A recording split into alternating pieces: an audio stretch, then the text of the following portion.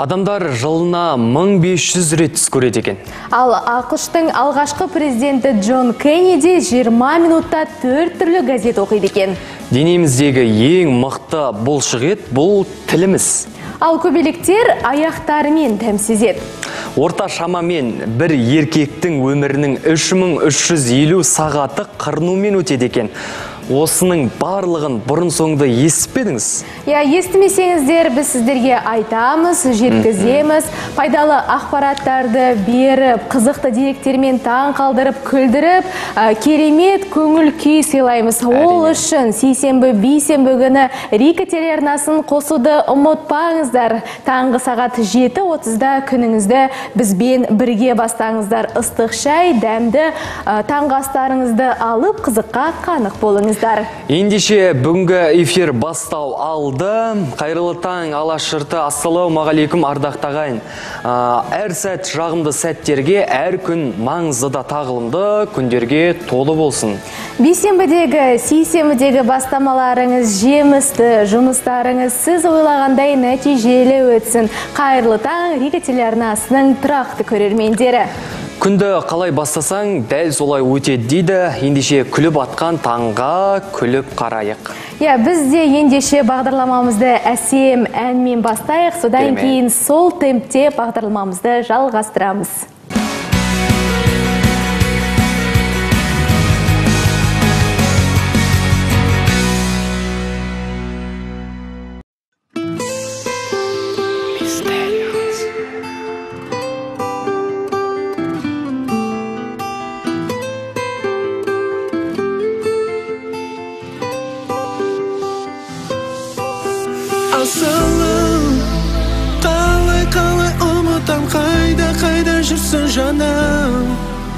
Білесің сені ғана ұнатам қалай оны жасырайын?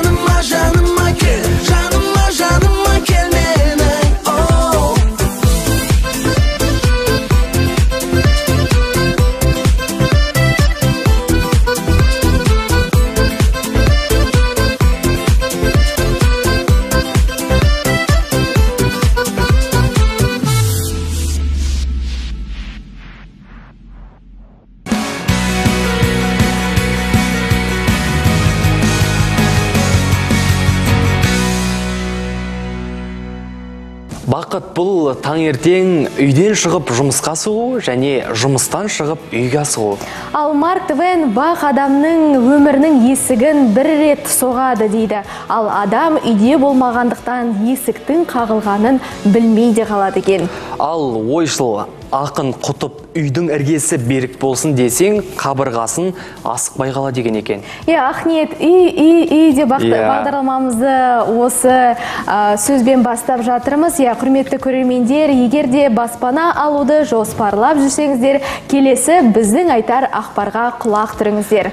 әдеттегідей бағдарламамыздың бас демеушісі касем групп компаниясының абырой тұрғын үй пәтері 5-10-20 шаңырақ бағдарламасы ар- арқылы ала аласыздар Иә, шарттарын айта өтейік, Э, 5 пайыздық мөлшерлеме, 10 пайыз бастапқы жарна, 20 жыл несиелеу мерзімі. Касим Групп компаниясының байланыс нөмірін айта өтейік, 8776-207-0404. Осы байланыс нөміріне хабарласып, сіздер осы бағдарлама арқылы толық ақпарат ала аласыздар. Ендеше осындай керемет мүмкіндіктен қапы қалмаңыздар және де олардың офистері де бар инстаграм парақшалары да бар. Барлық акцияларды ә, осы инстаграм парақшаларына жүктеп қояды. Сондықтан да олардың парақшаларына тіркеліп қойыңыздар дегіміз келеді. Әрине.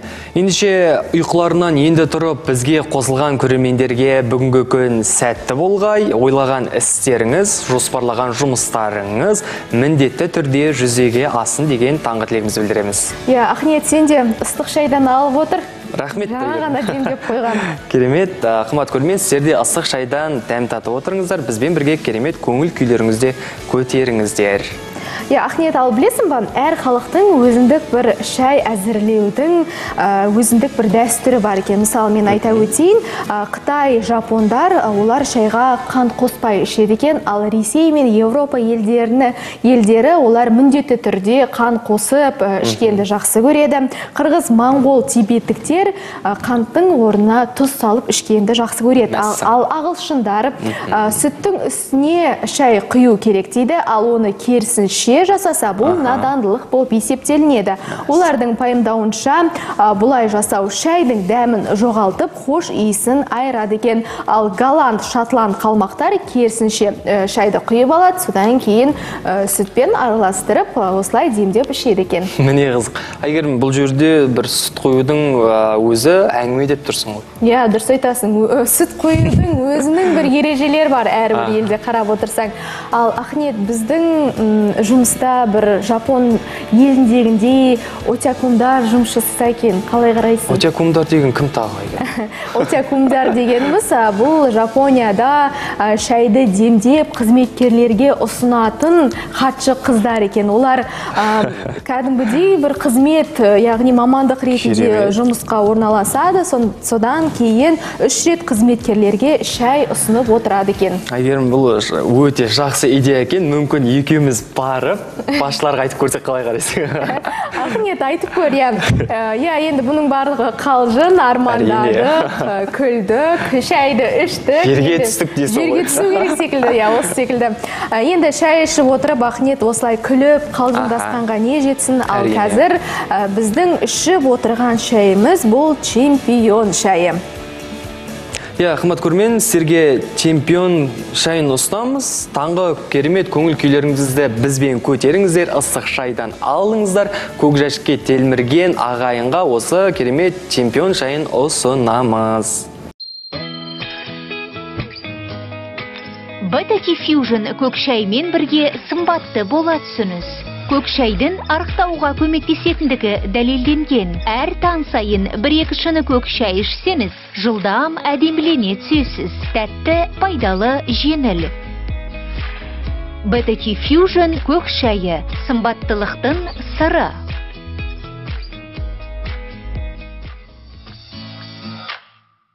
ал бұл жерде 46 күн қалды қымбатты көрермен асығыңыздар ахмет біздің Иә. көрермендерге қайда асықтырып жатсың?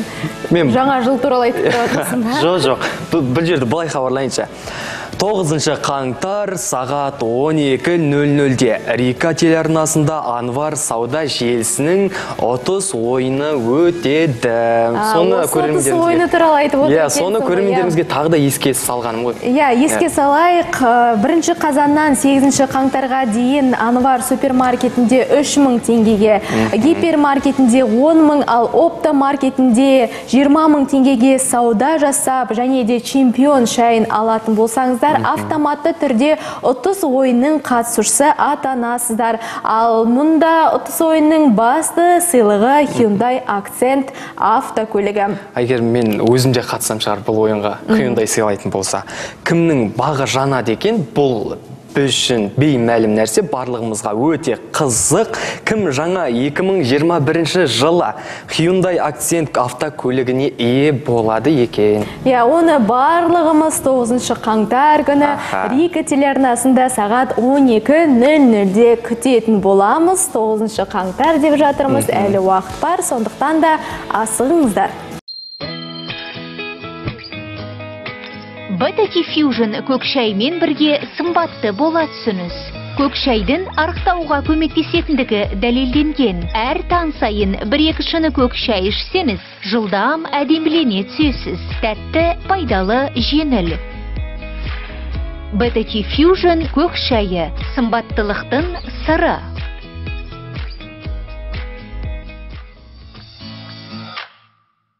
Дұрыс таңдау жасап, жақсы шай алып күніңізді жақсы бастаңыздар. Иә, таңдау деп жайт- айтып жатырмыз. Жалпы адам өмірде екі нәрсені дұрыс таңдау қажет. Біріншісі мамандық таңдауда және де жар таңдауда қателеспеу керек. Әрине, бұл жерде бүгінгі тақырыбымыз баршамызға өте қызықты болуы керек. Мен таңдаған мамандық деп аталады. Иә, бүгінгі біздің тақырыбымыз дәл осындай. Жалпы мамандық таңдауда бала да, оның ата-анасы да ерте кезден ойлану керек. Әлі ерте ғой, үлгереміз деп қазақшылыққа салынып жүргенде уақыт аққан судай зымырап өте де шығады.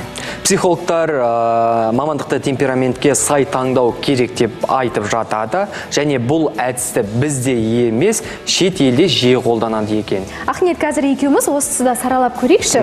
А, енді темперамент деп айтып жатырмыз. А, Оның төрт түрі бар, барлығымыз білеміз. Олар сангвиник, флагматик, холерик және де меланхолик. А, Жалпы сангвиник бұл ашық, ақкөңіл, сөзшең, қайырымды, жаны жомарт, оптимист жандар болып табылады. Сангвиниктер олар менеджер, мұғалім, дәрігер, психолог, тәрбиешісі, сатушы, даяшы, инженер, технолог және де басқа да мамандық иелене алады екен. Ал мен флегматикті айта кетейін, олар өте сақ, ұяң және байсалды келеді. Олар астроном, физик, математик, тағы да басқа мамандық иелерінің иелері бола алады екен. Меніңше бұл тұста бір жүз пайыз келетін сияқты, иә, Әрине, әрине. Ал келесі үшінші бұл холериктер, олар ұшып қонып тұратын, күйбелең, ә, шамшандағыш, тынымсыз және де көңіл күйі құбылмалы болып келеді. А, Мұндай жандар дипломат, журналист, хирург, ашпаш- аспазшы, геолог а, мамандықтары бойынша жұмыс жасай алады. Егерім тағы да дөп басқан сияқты. Иә, менің ойымша да иә. дәл келеді. Ал меланхоликтер өкпелегіш, пессимистер болып келеді. Меланхоликтерге суретші, бояушы, сазгер ә, және жазушы, малдәргері, геолог, тағыдан басқа мамандық иелері бола алады екен. Сіздер қалай келісесіздер ме мұнымен? Сіздер де осы ақпаратты саралап көріңіздер, өздеріңіздің ой пікірлеріңізді немесе ә, бізге ұсыныстарыңызды жазыңыздар дегіміз келеді. Осы тұста байланыс нөмірімізді айта өтейік. 8701 380 94 94 жазыңыздар. Ә, Біз сіздердің хабарламаларыңызды міндетті түрде оқитын боламыз. Адамдар өзіне қызық, сондай ақ төленетін айлығы жақсы, сұранысқа ие мамандық таңдайтыны баршамызға мәлім. Иә. Оған қоса аса қауіпті жұмыстарды да жасайды, өз өмірлерін қаперге тігіп, қорықпай, өз жұмыстарын орындап жатады. Ендеше көрермендерімізге біз келесі сюжетіміз сол туралы болмағын айта кетейік, барлығымыз бірге тамашалайық.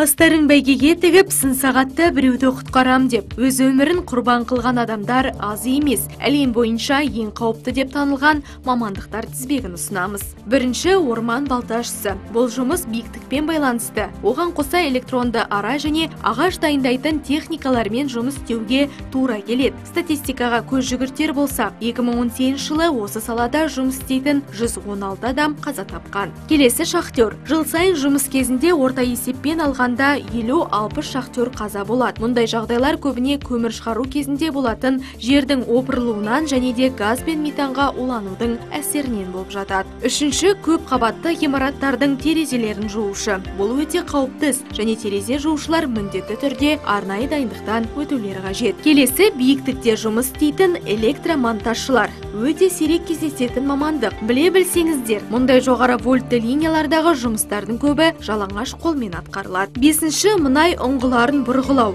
Аталған мамандық әркімнің қолынан келе бермейді себебі тәулігіне 12 сағат жанғыштық қасиетімен ерекшеленетін материалдармен жұмыс істеу өте қауіпті. Бұған қоса бұрғылаушылар жағалаудан жүздеген километр қашықтықта өркениеттен аулақ дерлік жерде жұмыс істейді. Жылан саушы деген жұмыс туралы естуіңіз бар ма?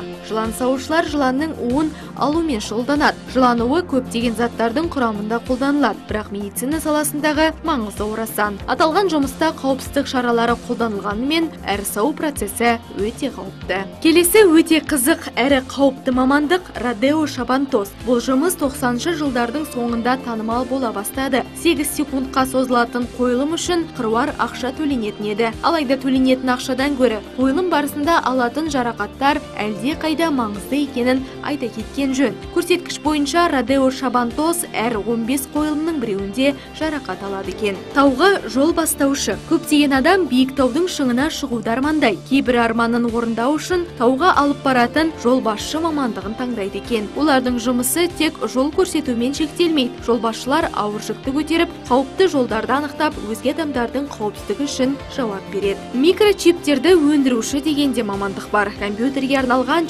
чиптерді өндіру үшін түрлі қауіпті химиялық заттар қолданылады. Олардың қатарында сынап та бар. Микрочиптер өндірісі адам өліміне алып келмесе де осы салада жұмыс істейтін әйелдердің денсаулығына үлкен зардап әкеледі. Көбіне сәбилері денсаулығында кінәратпен туылады екен. Сонымен қатар қызметкерлер тыныс жолдары ауруларына немесе қатерлі ісікке шалдығуы мүмкін.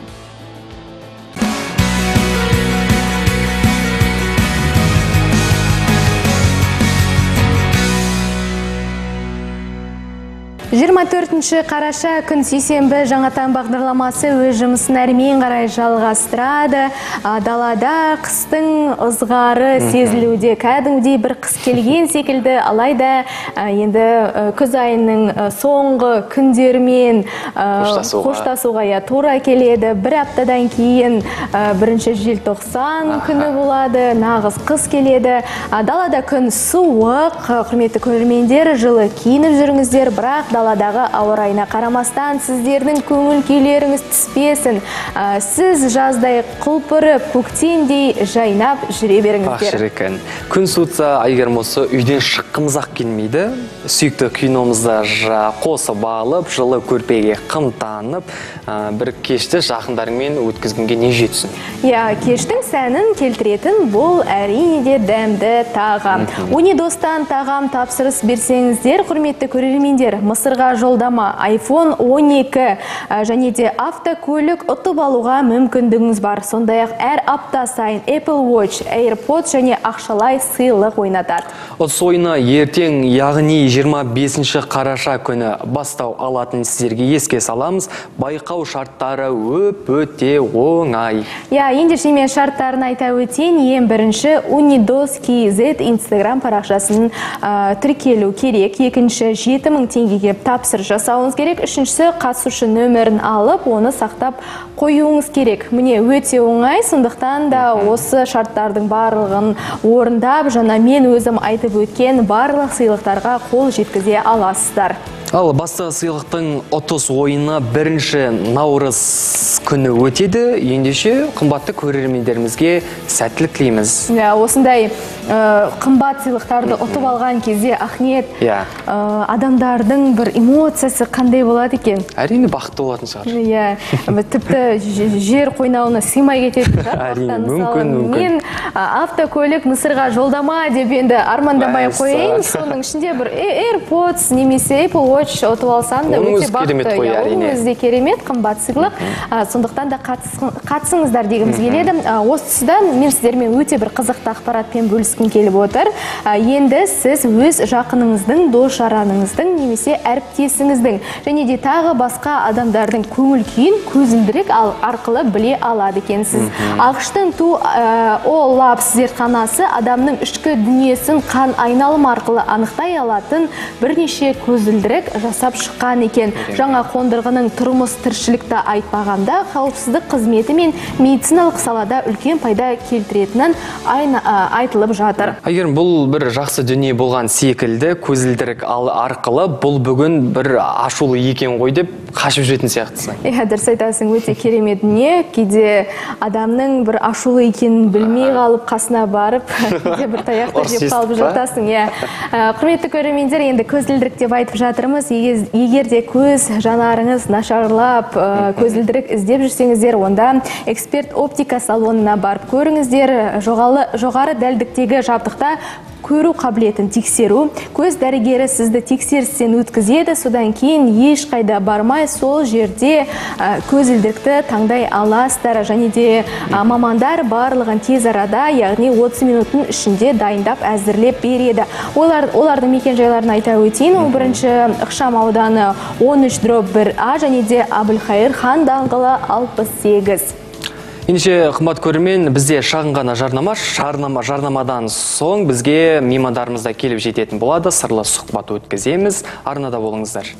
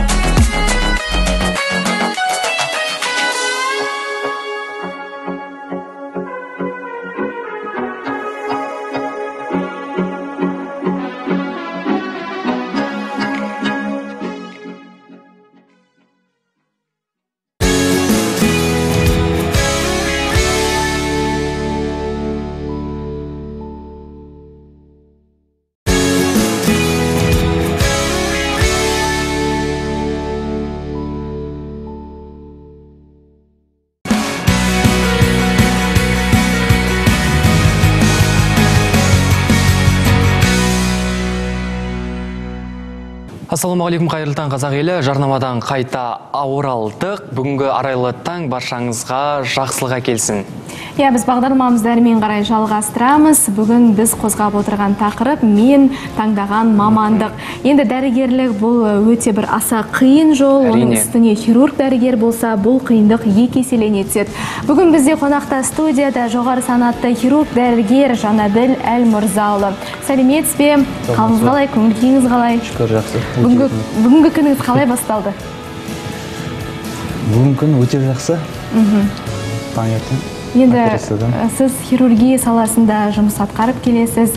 Өзіңіздің жұмысыңыз туралы, қызмет жолыңыз туралы айта кетсеңіз. Медицина маман- мамандығын өзім жақсы көрдім. Ол мектеп кезінен өзім ұнатып өзім таңдадым. Ата анам медик болғасын. Солардың бір себеп болды түсуіме екі мың бірінші жылы осы медицина саласына батыс қазақстан мемлекеттік медицина академиясына түсіп 2008 жылы бітірдім. Өзіме ұнап қазіргі таңда 12 жыл болды осы медицина саласында жұмыс істеймін именно хирург болып. Түсінікті. Жалпы хирургия саласын таңдаған уақытта ә, сізге не себеп түрткі болды? Және де бұл мамандық таңдау таңдаған уақытта өкініш жоқ па? Мен өкінбеймін қайда қуанамын? Дәрігер болғаныма. Енді конечно осындай қиын заманда әрине. көптеген ә, науқастарға сырқостарға септігін тигізесің емдейсің халықтың батасын аласың. Өзіме ұнайды. Енді әлмырзаұлы қазір сіз қайда жұмыс жасап жатырсыз? Және жалпы қандай оталар жасайсыз? Қазіргі таңда мен ә, неге ә, дару жарығында хирург ә, біздер ол аурухана қазіргі таңда көбінесе барлығы жоспарлы операциялар оталар бізге көбінесе сол жарық крыжа дейміз жарық яғни сосын өт тас өт қабында тастың буына калькулезный холецит соларға байланысты операция жүйесі солар жасаймыз. Жоспарлы операциялар бізде көбіне жасалатын. Ал осы өт тас ауруларына операциялар қандай бір әдістермен қандай бір жабдықтармен жасалынады? Жалпы осы клиникада барлығы қамтамасыз етілген бе? Дару жарығында қазіргі таңда ә, заманауи құрал құралдармен жабдықталған. Неміске фирма неміс карл шторц фирмасының құралдарымен жоғары деңгейдегі аппараттар жабдықталған. Ашық және жабық түрде жасалады. Лапароскопиялық әдіс дейміз яғни лазерный дейді ғой халықтың көбісі сол енді лапароскопиялық әдістермен және ашық түрлермен де жасалады. Жасаймыз оны. Түсінікті. Түсінікті. Жалпы жарыққа яғни крижаға қандай әдіспен ота жасайсыздар? Біздерде екі әдісі бар. Лапароскопиялық және ашық түрде. Бұларға енді сетка қойылады арнайы сетка деген материалдар бар сол сеткалар ультрапро және тағы да басқа фирмалардың сеткалары соларды қойып лапароскопиялық әдіспен де және ашық әдіспен де қойылады енді сіз өзіңіз жоғары санатты дәрігерсіз оның ә, үстіне ә, қазір қаламыздағы жетекші клиникалардың бірінде жасайсыз жоғары технологиялармен жабдықталған дедіңіз. Жалпы сіздерге басқа қалалардан келіп ота жасай ма? Жасалады. Басқа нелерден о- облыстардан көбінесе батыс аймақтардан және осы жақын қызылорда облысынан жасалады жиі жасалып тұрады олар орал облысынан атырау ақтаулардан келіп тұрады бізге. Енді қазір статистикаға көз жүгіртетін болсақ ә, қазір ә, елімізде осы грыжа ауруына шалдығып жатқан адамдар өте көп. Жалпы осы ауруды қалай алдын алуға болады? Ә, сол турасында да өзіңіздің бір дәрігер ретінде кеңесіңізді айта кетсеңіз. Енді бұл жарық деген бұл енді бір өзінің шығуына себепші болады ғой. Сол себептерін алдын алу керек. Яғни жаңа қосымша ы, сырқостың патологиялары болуы мүмкін. Урологиялық және және басқа да әсерлер болады солардың алдын алу керек. Сосын жаңа ы, физикалық күштеменің әсерінен. Солар негізгі жатқан әсер болады. Солардың алдын алса көбінесе бұл ауруға кімдер шалдығып жатады қанша жас жастағы азаматтар? Бұларға көбінесе сол орта жас және үлкен жастағылар көбінесе жиі ауыратын. Бұларға көбінесе әйел адамдар жүктілік әсер ететін. Урологиялық патологиялар респираторлық патологиялар солардың әсерінен шығып түсінікті. Енді сізге қалай жазылуға болады қайда хабарласуға болады? Ә, өздеріңіздің бір ә, байланыс нөмірлеріңізді айта өтсеңіздер. Бізге дару жарығына ә, ресепшнға келіп сол жақта қыздар бар тіркеледі. Сол жерде дүйсенбі күнінен жұма күніне дейін Мгм. енді бүгін біз ә, мен таңдаған мамандық деген тақырыпта ә, әңгіме өріп өтіп отырмыз. Жалпы сіз хирург болмасаңыз басқа кім болар едіңіз? Қалай ойлайсыз? Басқа кім? Ойламаппын шынымды айтсам. Яғни хирург дәрігер болу бұл сіздің бала күнгі арманыңыз және де Иә. осы күнде сол арманға қол жеткіздіңіз. Да. Армандадым. Ата анам да себепші болды. Дәрігер болма. Өздері медик болғасын сол бір себебін тигізді. Үйде енді көргенде күнде ә, медициналық кітаптар көретінбіз күнде соның суретін қараймын күнде күнде ол кезде кішкентаймын ғой, оқушымын. Сол кезде сол может солардың өзі әсер етіп кетті ма? Сол күнде соны қарап медик болмасам да ол кезде кішкентай оқушымын ғой. Содан кейін медик боламын деп шештім керемет. Енді жұмысыңызға табыс тілейміз. Ә, енді ә, дәрігер ретінде халықтың алғысына бөленіп жүре беріңіздер. Ә, енді хирург дәрігерлер бұл адамдарға екінші өмір сыйлайтын жандар деп айтып жатырмыз ғой. Сіздерге көп көп рахмет. Таң сәрісінде біздің студияға келгеніңіз үшін алғыс айтамыз. Рахмет. Қымбат көрермен сіздерге сырлы сұхбатты ұсындық сіздерге керемет пайдалы ақпараттарды көрсеттік деген ойдамыз. Ендеше бізде тағы да шағын жарнама жарнамадан кейін тағы да сіздерді керемет меймандар күтетін болады. Арнада болыңыздар. Бетати Fusion көк шаймен бірге сымбатты бола түсіңіз. Көк шайдың арықтауға көмектесетіндігі дәлелденген. Әр таң сайын бір-екі шыны көк шай ішсеңіз, жылдам әдемілене түсесіз. Тәтті, пайдалы, жеңіл. Бетати Fusion көк шайы сымбаттылықтың сыры.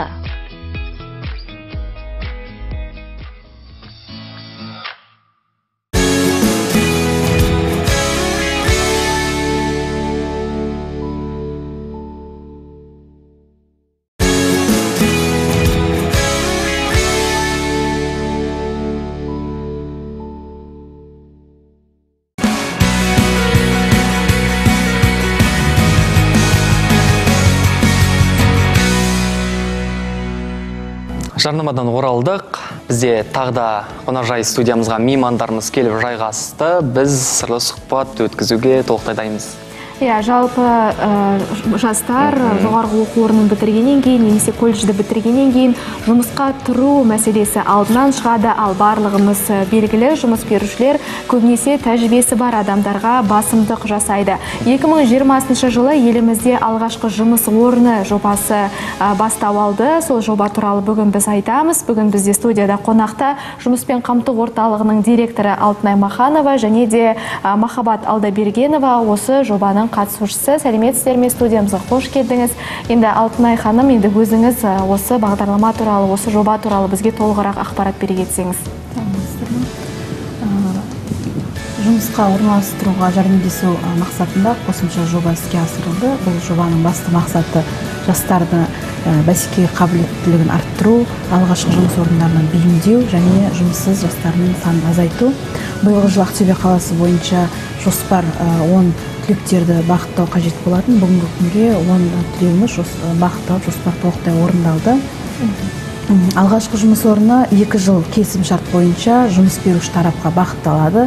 Ә, бір жыл көлемінде 12 айда осы мемлекет тарапынан бөлінген қаражат есебінен ә, 20 айлық есептік көрсеткіште ай сайын жалақысы төленеді. Барлық әлеуметтік төлемдерді қоса алғанда екінші жылы сол мекеме тұрақты жұмыс орнына алып қалады. Келісімшартқа байланысты.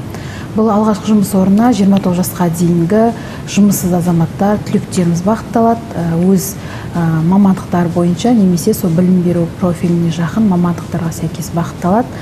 Жұмыс беруші тарап өтінім бергеннен кейін ә, осындай мамандықта осындай бізге жұмыссыздар қажет деген жағдайда жұмыс іздеуші түлектерімізді сол жерде категорияларына критерияларына байланысты санаттарын қарап әңгімелесуге жіберіп егер де қабылдаған жағдайда бағытталады бұл жерде айта өтетін жайт сонымен қатар біздің еңбек бағдарламасы аясында жастар тәжірибесі қарастырылған. Жастар тәжірибесіне алты ай уақытқа алғашқы тәжірибе жинақтауға бағытталса бұл алғашқы жұмыс орны биылғы бастау алып жатқан жоба.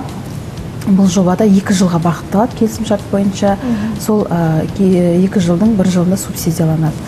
Алайда алғашқы жұмыс орны аты айтып тұрғанда ешқандай ешқашан жұмыс атқармаған. Мына жас ел акциясы барысында да жұмыс жасамаған студент кезінде мына төтенше жағдайға байланысты бірыңғай жиынтық төленбеген түлектеріміз ғана бағытталады. Ал жастар тәжірибесіне мамандығы бойынша жұмыс жасамаған барлық түлектеріміз бағытталады. Мгм. енді ә, махаббат өзіңіз жас мамансыз. Осы жұмыспен қамту орталығына қалай келдіңіз қашан келдіңіз және де қанша уақыт ішінде сізге ә, осы орталықтың мамандары ә, жұмысқа орналасу мүмкіндігін берді? Жұмысқа қамту орталығына қазан айының басында келдім. Оқудан июнь маусым айында. оқудан дипломымызды алып болғаннан кейін енді карантин болған уақытта біз енді э, андай балабақшаларға кіре алмадық. Сондықтан осы жұмыспен қамту орталығын естіп арнайы қазан айының басында бардым. Сол кезде маған дәл сол күні жұмыс тауып іздеп берді. Келесі күні мен сол не балабақ алмарай балабақшасына бардым. Ә, меңгерушіспен сөйлестім ол кісі қабылдады. Сол келесі күні маған ә, документтердің бәрін толтырып дәл сол күні маған жұмысты қабылдады. Яғни бір күннің ішінде ә, махаббат ханым жұмысқа орналасты иә? Ә, енді ә, басқа да қандай осы жастарға жас мамандарға арналған бағдарламалар бар? Қазіргі таңда ә, еңбек бағдарламасы аясында жастар тәжірибесі қарастырылған әлеуметтік жұмыс орындары қоғамдық жұмыстар қарастырылған. Ең бастау алып алғашқы жоба осы алғашқы жұмыс орны және де ұрпақтар келісімшарты ұрпақтар келісімшарты мына зейнеткерлік жас, жасына байланысты зейнеткерлікке шығуына алты ай уақыт қалғанда біз жас мамандарды жібереміз. Ә, жас мамандар егер әңгімелесу өткен жағдайда бір жарым жылға 18 айға келісімшартпен сол мекемеге қабылданады. Алты ай уақытын осы ә, мемлекет қаражатынан төленеді жалақылары және бір жылға сол жерге келісімшартпен жұмысқа алып қалады. Бүгінгі таңда енді биылғы жыл пилоттық жоба ретінде қолға алынып жатыр. Енді бұл бастамасы әрмен қарай өз жалғасын табады деп ойлаймын. Себебі қазіргі таңда жастардың мәселесін барлығы көтеріп жатыр. Барлық үкімет басшылары мына президентіміз сонымен қатар осы бәсекеге қабілетті жастарды тәрбиелеу мақсатында жұмыссыз азаматтарымызды сонымен жастарымыздың санын азайту мақсатында көптеген бағдарламалар қолға алынып жатыр. Оның ішінде мына биылғы жылы әлеуметтік нысандарды объектілерді жол жөндеу жұмыстарына жұмыспен қамту жол картасы іске асырылды. Осы төтенше жағдайға байланысты бүгінгі күнге жеті мыңға жуық жұмыссыз және өз өзін қамтушы азаматтар бағытталып соның ішінде бес жүзі осы жастар. Соның ішінде студенттер осы жазғы каникул мерзімінде жұмыс атқарғандар. Ол барлығы осы мемлекетіміздің тарапынан көрсетіліп жатқан көмек деп есептейміз. Енді осы ә, алғашқы жұмыс орны жобасына оралсақ осы жоба бойынша біз жоспарды орындадық. 10 адамды жұмыспен қамтыдық деп айттыңыз. Ал келер жылға қанша адамды жұмыспен қамту жоспарда бар? Биылғы жылы жоспар бойынша а, 10 түлектерімізді бағыттау жоспарланды. Оның ішінде тәрбиеші логопед мамандықтары бойынша балажан алмарай комфорт жауапкершілігі шектеулі серіктестігі балабақшаларына мектепке дейінгі балабақшаларына бағытталып қазақтелеком акционерлік қоғамына экономист және де сабақ оқу өндірістік медициналық орталығына бағытталған болатын. Енді төтенше жағдайға байланысты карантинге пандемияға қарамастан осы жоспарды орындауға тырысып а, жіберілген болатын қазіргі таңда. Енді а, 2021 жыл бұл жоспар көбейтіліп ұлғайтылады деп ойлаймын. Себебі биылғы жоба бастау алып 10 адам болса келесі жылға ол оннан көп болады деп сенеміз. Ал қандай мамандық иелерін ә, жұмысқа орналастыру кезінде бір қиындық туғызып жатады? Қазіргі таңда еңбек нарығына қажетті мамандықтар бойынша сұраныстар мекеме тарапынан жаңа сауалнама жүргізіліп жатыр. Сауалнама бойынша 2021 жылға жоспар құрылуда. Жоспар яғни қайта даярлау курсына бағыттау мақсатында қандай мекемеге қандай мамандықтар қажет қажеттілік туындап тұр сол бойынша оқыту үшін сауалнама жүргізіліп жатыр. Қазіргі таңда енді балабақша мектепке дейінгі ұйымдар және мектептерде орыс тілі мамандары қажет. Орыс тілі мұғалімдері орыс тілі тәрбиешілер қажет. Қазіргі сұранысқа ие. Және де жол жөндеу жұмыстарына еңбек нарығына қажетті мамандар. Енді ә, махаббат осы ә, алғашқы жұмыс орны туралы ә, бойынша жұмысқа орналастым дедіңіз жалпы қандай құжаттар тапсырдыңыз? Сол туралы да айта кетсеңіз мүмкін қазір жұмыс істеп жүрген біздің көрермендерге пайдалы ақпарат болар. Құжаттар дегенде өзімнің жеке өзімнің құжаттарым тутуал жеке куәлігім. және де андай мектеп бітірген дипломдарымның көшірмелерін соларды сұрайды. Енді қазір қалай жұмыс орныңыз ұнап жатыр ма? Бары жақсы иә енді алтынай ханым енді осы жас мамандарды жұмысқа тұрғызып жатырсыздар. Келіп жатыр сіздерге иә.